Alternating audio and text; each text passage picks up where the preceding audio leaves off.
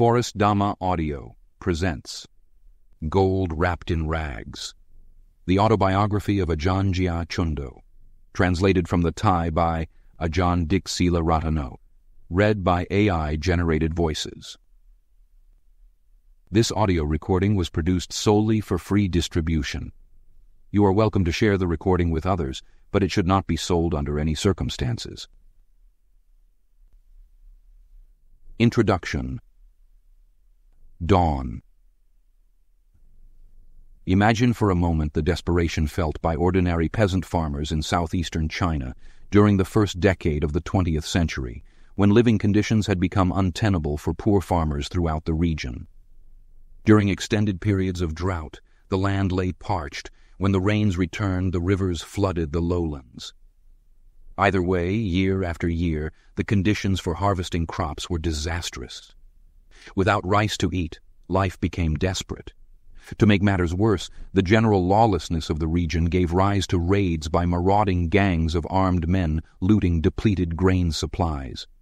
Sia Eung, the eldest son of an ethnic Hokkien family, grew up in a village in Fujian province, alongside a river which flooded its banks so often that the rice crops frequently failed, leaving his family to survive on a meager harvest each year. As typhoons swept in over the mountains and onto the low-lying countryside, storm winds blew without respite, and dense, lashing rain fell steadily for months, drenching everything. When water levels rose until they overflowed the river's banks, the rushing current started devouring the embankment, pulling the land into the surging torrent. The river swelled and flowed faster as its momentum grew, gobbling up everything in its path and spilling over so far that it inundated the rice fields. The ensuing floods washed everything away, not just the family's fields, but their home as well. Everything the family owned ended up floating in the middle of the river. All that remained of their house above water was the thatched roof stubbornly hanging on against the flood tide. Half-starved farm animals clung to the debris floating in the water, and human corpses beginning to bloat and rot bobbed in the swirling eddies. When the rain stopped, the sun beat down, and wafts of stench drifted off the river. The scenes of destruction were reminiscent of what the Buddha realized on the night of his enlightenment, that the cycle of birth and death resembles an ocean of suffering. After the flood, the young man's family packed what few possessions they had left and trekked across the high mountains into the next valley to stay with relatives and try to start their lives anew. There they built thatched huts in the open fields and eked a living out of the land. The following year drought descended, scorching the land and shriveling their crops. When he could no longer endure the feelings of despair, Sia Eung reached a pivotal moment in his young life. One morning, as dawn broke across the barren fields, he bid a tearful goodbye to his parents and left home in search of a better future. He set out on foot over the parched floodplain south of his home, hiking through the flat, hard landscape scarred with the stubble of a drought-stricken rice crop. Full of youth, he was strong and capable of walking long distances without tiring. He took few possessions with him, only some extra clothes stuffed in his Chinese traveling case, a tall, rounded basket made of woven bamboo that he carried suspended from a shoulder pole. Sia Eung was 22 years old and on his own. Like so many young men of that era, he joined a mass migration fleeing the severe hardships of southern China in search of greener, fresher pastures in the lands of Southeast Asia. He had heard from the tales of previous migrants that lands to the far south were peaceful and plentiful. His plan was simple keep walking south until he reached the sea, then stow away in the hold of a merchant vessel sailing southwest and plying its trade at cities and towns along the eastern coast of the Southeast Asian mainland. When a favorable opportunity presented itself, he intended to disembark and seek employment on the mainland. When the Chinese junk he eventually stowed away on reached the open sea, Sia Eung presented himself to the ship's captain and offered to work as a crewman to pay for his passage. Traveling in a southwesterly direction across the South China Sea, stopping to unload and load cargo at seaports along the route, the ship eventually entered the waters of the Gulf of Thailand, where it dropped anchor at the port city of Laem Sing on Thailand's southeastern coast. Finding conditions there favorable for beginning a new life, Sia Eung, soon to be the father of Ajahn Jia Cundo, disembarked carrying only his woven bamboo traveling case, and sought employment in the bustling city. Although Ajahn Jia's father turned out to be a minor character in the following account of his son's life, he nonetheless exerted an important influence on his son's temperament and the effect it had on his bold, direct, and assertive personality. Ajahn Jia's father was an ethnic Hokkien, and the young Jia inherited from him the inherent character traits typical of Hokkien people. Even when speaking with close friends and family, Hokkien people tended to shout and remonstrate in loud and forceful voices as if they were quarreling among themselves. The Hokkien viewed loud and brassy speech simply as an effective and confident way to communicate. Although they sounded rude using profanity in ordinary conversation, they did not intend their words to be offensive. In their minds, they were just bantering good-naturedly.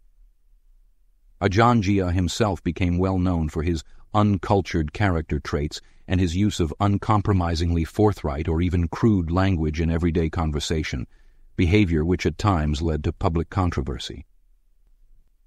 Ajahn Jia possessed a dynamic personality, resourceful and full of energy, strong-willed and adamantly self-assured. Like his father, he was a physically imposing man with a tireless work ethic, which could easily lead to confrontations when obstacles blocked his path. When Ajahn Jia eventually agreed to recount the story of his life, his strict, no-nonsense character was on full display as he raised the curtain to look back on his life as a forest monk with the hopes, goals, adventures, and lessons learned taking center stage. He guided his listeners through a biographic landscape of intersecting people, places, and events that focused attention on the fierce and resolute temperament that shaped the course of events on his spiritual journey. In his storytelling, Ajahn Jia did not avoid addressing his own shortcomings, nor did he shy away from depicting the people with whom he interacted in the most candid and outspoken terms. In his rigorous pursuit of spiritual excellence, he was as demanding of himself as he was of his students. He was not all strictness and severity, however. Glimpses of his less daunting, more human side can be seen in the anecdotes he told about his eccentric habits and unorthodox behavior, which enable the reader to gain a fuller picture of his overall personality. By the time of the first interview, Ajahn Jia's enlightened mind comfortably clothed in the discarded rags of his outward personality, engaged the world untouched by feelings of awkwardness or embarrassment.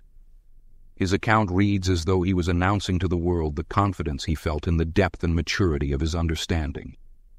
Speaking honestly and openly about himself and his exploits, he concealed no hidden agendas or ulterior motives. He simply exhibited the stubborn, combative traits from which he had earned the moniker gold wrapped in rags. On the afternoon of January 30th, 2000, a group of monks and lay devotees who had practiced under Ajahn Jia's guidance for decades approached him at his monastic residence with a special request. Would he kindly agree to tell the story of his life in full so that it could be recorded and preserved for the benefit of future generations? They were seeking an in-depth account of his personal experiences and reflections and were prepared to allow all the time he needed to relate his story. Then, 84 years old, Ajahn Jia was nearing the end of his life. He suffered from multiple physical ailments which had decimated his body and sapped his strength. Laying back in a rattan recliner with his feet elevated to ease his chronic pain, Ajahn Jia agreed to narrate the events of his life on the condition that his biography be used for the purpose of inspiring the present generation of monks and lay practitioners to put their faith in the traditional Buddhist practices that lead directly to liberation from suffering. Recordings taken from that and subsequent interviews became the oral history on which this book is based. While members of the group set up their video recording equipment, Ajahn Jia warned them that his memory had deteriorated along with his physical health, a handicap which was likely to affect the accuracy of his recollections. Nevertheless, he would do his best under the circumstances. The outcome was, in fact, a detailed account of the events that characterized Ajahn Jia's life and the extraordinary times in which he lived. With the exception of this introduction and the epilogue that concludes the book, the contents of this book were taken from those recorded interviews, which were conducted on a regular schedule over a period of several weeks. The voice recordings were later transcribed into the Thai language and published as an autobiography entitled Ajahn Jia Cundo, Gold Wrapped in Rags. This book presents the English translation of the Thai version, which I have reworked for clarity and smoothness. The resulting English version is a carefully composed work. The selection of its materials and their arrangement into chapters is guided by a desire to highlight specific themes of Ajahn Jia's life and his path of practice. Ajahn Jia opened his narrative with the story of his father's emigration at a young age from South China to southeastern Thailand. He talked about the influence his parents had on his upbringing and temperament. He spoke about the time his mother and father met, recounted stories from his childhood and teenage years, and described his life as a monk, placing special emphasis on the many decades he lived the life of a forest monk alongside some of the most renowned meditation masters of the Thai forest tradition. Ajahn Jia was born in an age of foot travel and boat canals, candlelight and wood stoves, dirt roads and gravel streets, and agrarian social customs. It was a simple, uncomplicated era when virgin forests, carpeted with thick subtropical undergrowth, dominated much of Thailand's landmass, creating large expanses of wilderness that extended through many regions of the country. Where today roads wind through the countryside, at that time only narrow trails passed through the dense jungle terrain where village settlements were often located a day's walk apart. The forests surrounding those communities teemed with dangerous wild animals, making them appear frightening to the local inhabitants. It was in such sparsely inhabited wilderness locations that Ajahn Jia would come to find the ideal environment for treading the Buddha's noble path to enlightenment. As can be expected from an off-the-cuff oral account of one's life, his narration of events sometimes lacked structure and consistency. Initially, recollection of episodes from his youth did not always follow the order in which they occurred. Instead, remembrances came to mind in a more random fashion, as the memory of an event or person from his childhood prompted him to describe a related incident that happened years later. For example, while relating his life as a young teenager, he interposed stories that happened after he became a monk, then promptly returned to the narrative of his teenage experiences.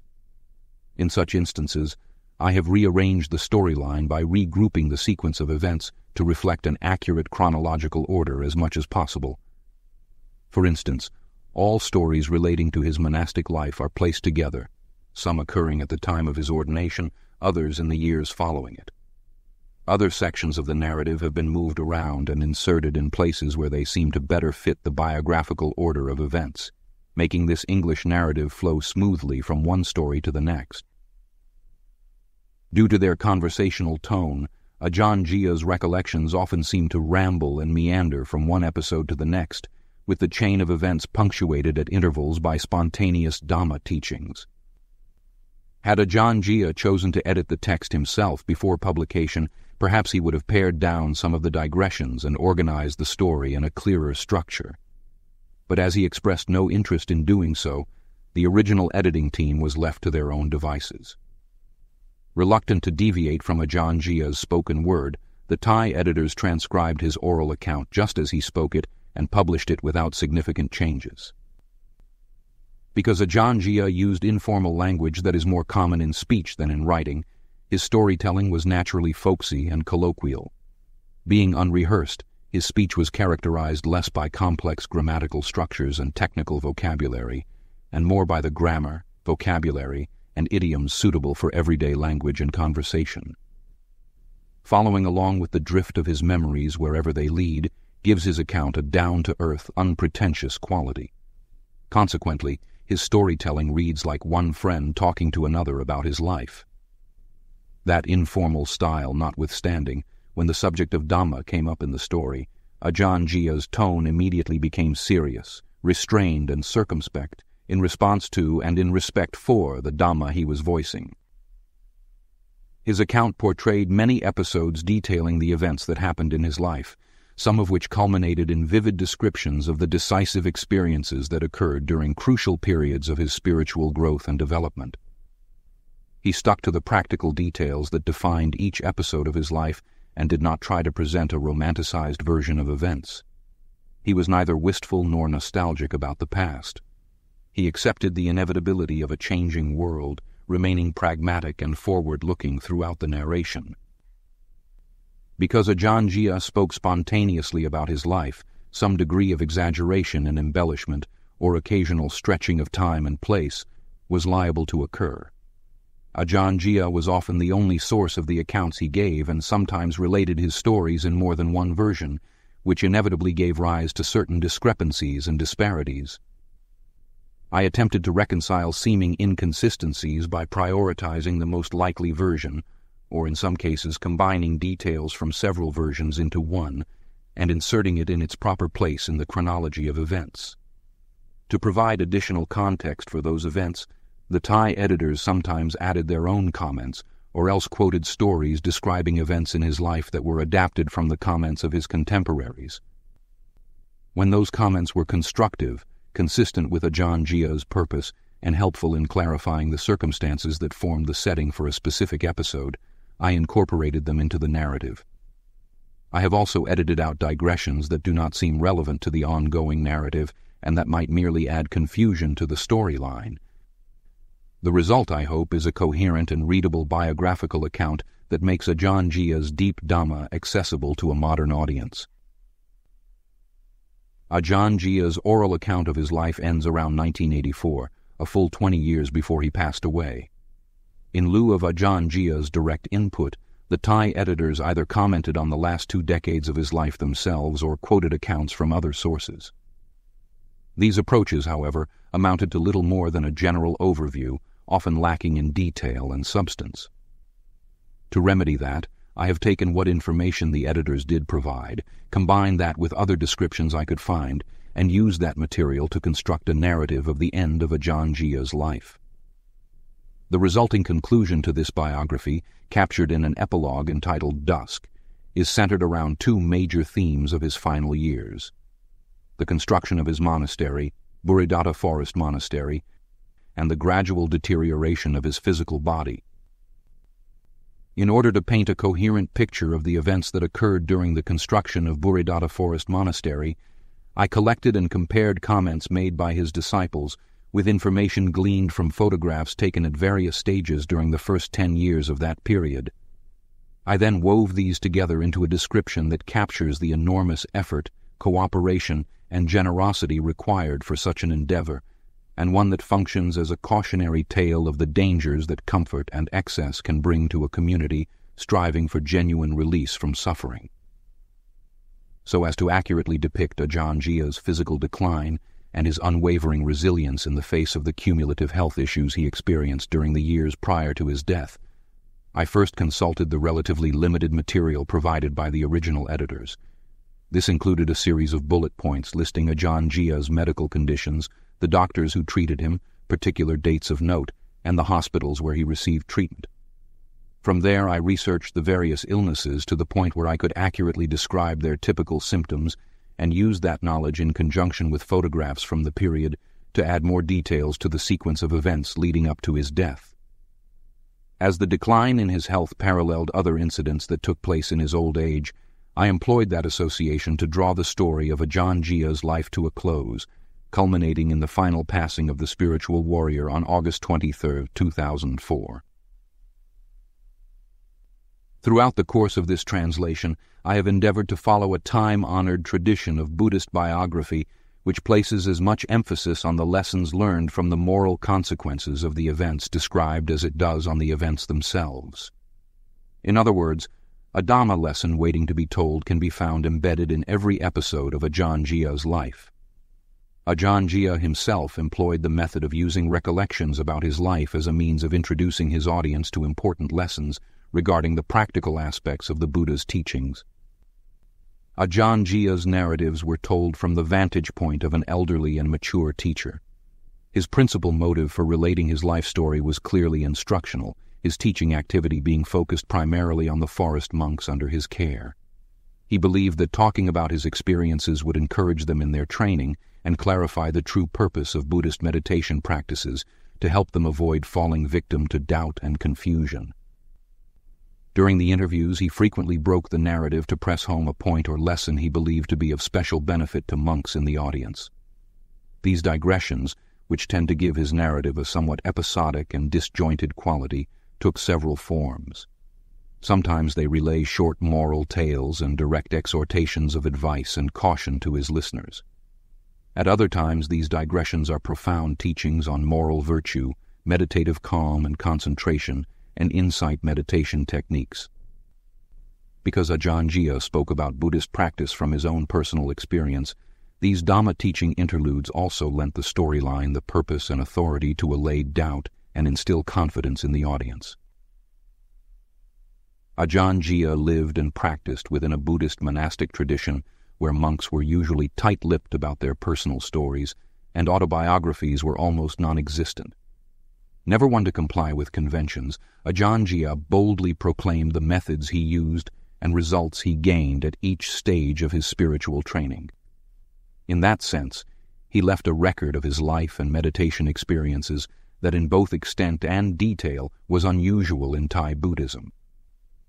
The inclination to talk about his own life increased with age and had become a prominent feature of his teaching style by the time the interview for this book took place, prompting Ajahn Jia to openly discuss the full range of his spiritual attainments. The narrative's rambling style and rhythm seem just right as a reflection on the austere nomadic lifestyle Ajahn Jia led for much of his monastic life. Deeply impressed by stories he was told about Buddhist monks whose great virtue enabled them to undertake ascetic practices that would seem incredible to most, he embarked on a strict regimen of monastic training in an attempt to emulate them. Inspired by heroic tales of the hardships that illustrious Buddhist figures of the past had overcome in the struggle to reach enlightenment, he set out on the Buddhist path with high hopes, eager to start his formal practice. He believed that a monk who commits himself to attaining the end of all suffering must push forward with unwavering determination and maintain that momentum, whatever the difficulties encountered, until the ultimate goal is achieved. Since the time of the Buddha, the lifestyle of a Buddhist monk has been modeled after the life of a homeless wanderer. Such a spiritual aspirant, having renounced the world and gone forth from his home and family, dressed in simple robes stitched together from discarded cloth, depended on alms food for his meals, and took the forest environment as his dwelling place. Buddhist renunciation practices based on that Spartan lifestyle and exercised for the sake of spiritual progress on the Buddha's path to enlightenment became known as Dhutanga. The austere nature of those practices provided the supporting structure for meditation methods used by forest-dwelling monks throughout the history of Buddhist monasticism, which helps to explain why ascetic practices have always been deeply woven into the fabric of Buddhism. The early 20th century witnessed an extraordinary revival of that traditional monastic lifestyle. The resurgence, which would come to be known as the Thai forest tradition, was an attempt to revitalize ancient standards of Buddhist practice. Forest living, moral discipline, and meditation in search of the Buddha's path to enlightenment that had long been missing in the monastic culture of the day. During this revival, as in previous eras of Buddhist Renaissance, the role of forest monks in Thailand came to be that of masters of ascetic practices and of meditation techniques that enabled them to directly access another order of reality and to transmit the knowledge resulting from that access to their disciples. The power perceived to have been generated by forest monks' sexual abstinence, ascetic practices, and above all their dedication to meditation motivated generations of followers to venerate them and to strive to emulate their austere way of life. By the time Ajahn Jia entered the monkhood in 1937, the forest monks of Thailand had established a strong meditation tradition grounded in the 13 Dhutanga ascetic practices authorized and encouraged by the Buddha. They referred to their ascetic lifestyle as Tudong, an abbreviated form of the word Dhutanga. The Tudong concept encompassed not only observing all or some of the Dhutangas and other renunciate practices, but also more broadly to the custom of a forest monk trekking alone on foot for months through sparsely populated wilderness areas. Arduous journeys that often tested a monk's spiritual strength and stamina to the limit. While traveling, Dhutanga monks of Ajahn Jia's generation carried only their basic requisites, the three principal robes, an alms bowl, a razor, a belt, needles and thread, a water strainer, and an umbrella tent. A cloth curtain hung from the edge of a homemade umbrella that formed a tent-like shelter when suspended from the branch of a tree. Their daily lives were full of forests and mountains, rivers and streams, caves, overhanging cliffs, and dangerous wild animals. They moved from place to place by hiking along narrow wilderness tracks in remote frontier regions where village communities were scarce. Since their lives depended on the alms food they collected from those small settlements, wandering Dhutanga monks never knew precisely where they would find their next meal and were prepared, when circumstances dictated, to receive no food at all. They simply relied on strict discipline and fierce determination to see them through the difficult challenges they set for themselves. After his ordination, Ajahn Jia joined the ranks of those intrepid forest monks who undertook Dhutanga ascetic practices to rid their minds of encumbering defilements. Accomplishing that goal required nothing short of a revolution in the mental habits by which a monk managed his daily life. Such a transformation, in turn, entailed commitment, courage, and a lifetime of persistence and discipline. That meditative lifestyle combined periods of settled living when monks gathered in forest monastic communities to train under a reputable ajahn, or teacher, with the nomadic Dhutanga existence they pursued once their training was completed. Ajahn Jia's introduction to the Dhutanga practices began with life in a forest monastic community where he lived under the watchful tutelage of Ajahn Kongma, a senior monk respected for his wisdom. Inside the monastery, his life was regulated by an intensive regimen in which discipline restrained a monk at every turn. In the routines of meditation, in the procedures of the Dhamma hall, in the teacher and disciple protocols, in morning and evening chanting before the Buddha statue, and in the disciplinary precepts that Buddhist monks observed. Ajahn Jia was taught foundational Buddhist meditation themes like mindfulness focused on the meditation word Buddho and contemplation of the human body. By emphasizing respect for traditional monastic values in this way, forest monasteries were able to maintain the integrity of their monks' commitment to authentic Buddhist practices. Although many forest monks lived and studied with their teachers for years before daring to strike out on their own, Ajahn Jia, with his bold and adventuresome temperament, was a notable exception. Over time, Ajahn Jia became one of a group of forest monks who pioneered the use of new and innovative Dhutanga strategies, helping to add new dimensions to the Buddha's time-honored ascetic practices. In parallel with their solid training in discipline and meditation, forest monasteries also required their monks to regularly observe certain core Dhutanga practices, living in the forest, walking on alms round each day, eating only one meal a day, and eating all food directly from their alms bowls. Monks were also encouraged to experiment with other Dhutanga practices that they felt suited their temperament. For example, wearing only robes that were made from discarded cloth, living out of doors, camping at the foot of a tree in a cave or under an overhanging cliff, and the practice of never lying down. These practices were considered advanced forms of asceticism to be undertaken at the discretion of individual monks when they felt they were ready to intensify their meditation and test their inner strength to the limit. Ajahn Jia's narrative reveals his deep appreciation of the natural world. His account indicates that many regions of Thailand were rich in pristine, old-growth forests, clear water rivers and streams, wide caves where the air was cool and fresh, mountains watered by natural springs, and an abundance of wildlife. It was an environment of immense biodiversity that had remained virtually untouched in South and Southeast Asia, stretching back for millennia to the time of the Buddha. Although the emphasis placed on forest meditation practices waxed and waned through the centuries, the virgin wilderness never ceased to be a source of ideal seclusion for the spiritual training of dedicated practitioners.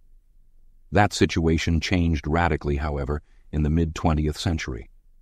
In 1916, the year Ajahn Jia was born, Nearly 70% of Thailand's landmass was blanketed by vast expanses of hardwood forests where a Dhutanga monk could hike from one end of the country to the other through uninterrupted wilderness. Due to subsequent rampant deforestation, by the time Ajahn Jia passed away in 2004, only 20% of the country remained forested, and those dwindling wilderness areas were mostly confined to national forest reserves. Such wholesale destruction of old-growth wilderness areas meant that a forest monk's range of activity was eventually reduced to pockets of woodland, separated by extensive areas of cultivated rice fields and urban sprawl. The Buddhist monk's natural abode of rivers, mountains, and caves, which had endured unscathed for millennia, was confronted with the seemingly irreversible modern-day trend to lay the natural world to waste. Read from the perspective of that altered landscape, Ajahn Jia's autobiography can be understood as both an ode paying tribute to perhaps the last golden era of Buddhist ascetic practices, and as a swan song heralding the sunset of the ideal meditation environment that for so long made those unique modes of practice possible. Although a crucial element in forest practice had been lost during his lifetime, Ajahn Jia did not want his successors in Buddhist practice to become prisoners of time and place. Instead, he threw down the gauntlet to future generations of Buddhist practitioners, challenging them to remain true, under all circumstances, to traditional Buddhist practices that lead directly to liberation from suffering. Gold Wrapped in Rags presents the real and true account of Ajahn Jia's life and practice, disclosing for us not only the character and personality of the man who lived his transient life on this earth, but also the noble goal that he transcended his earthly persona to attain, and the means by which he threw back the shabby shroud of that persona to reveal the pure gold veiled behind those tattered rags.